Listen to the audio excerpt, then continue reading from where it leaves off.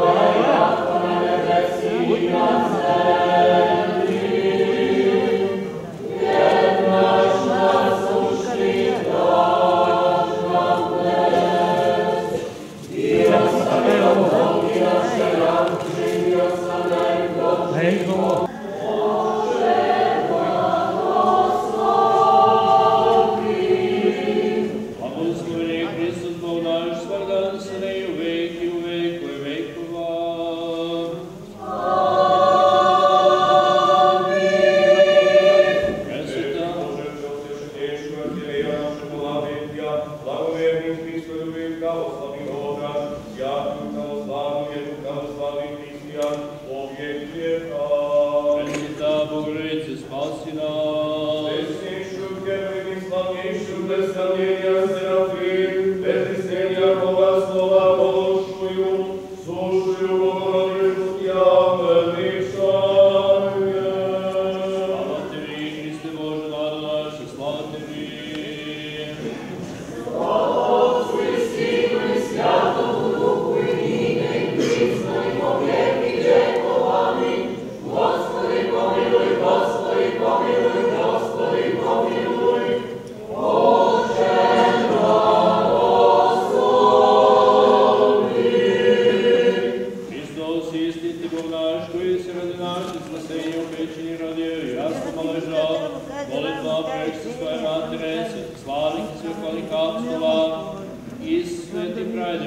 njegova taci, Akimenes i sveti nas pomiluj spase, kao blagi čoveko ljubiv.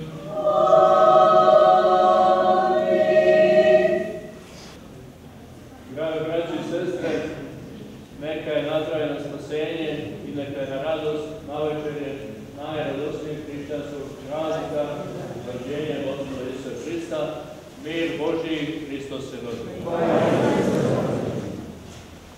Kao što neka tradicija i običaj nalažu, ovako kada se vidimo u ovolikom broju, red je da i mi vama predstavimo šta smo radili u toku ove godine. Dakle, bilo je neki uspone i padova, bilo je neke olakšavajuće, otežavajuće okolnosti, ali sve u svemu jako smo zadovoljni. Zadovoljni smo prvenstveno što se povećava broj vernika u crkvi, a to je najbitnije. Dakle, živa crkva je nešto najbitnije i najosnovnije.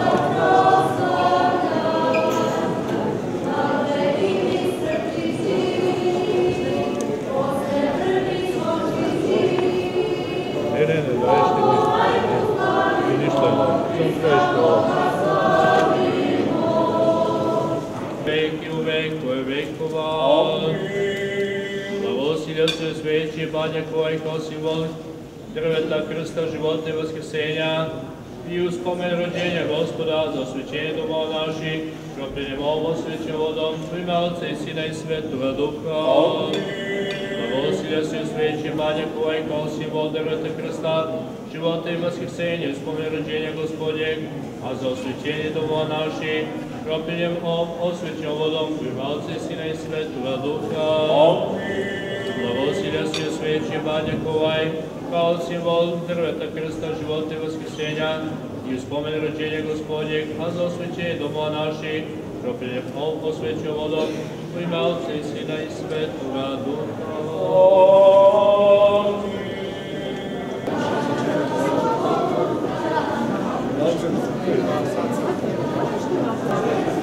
Amin.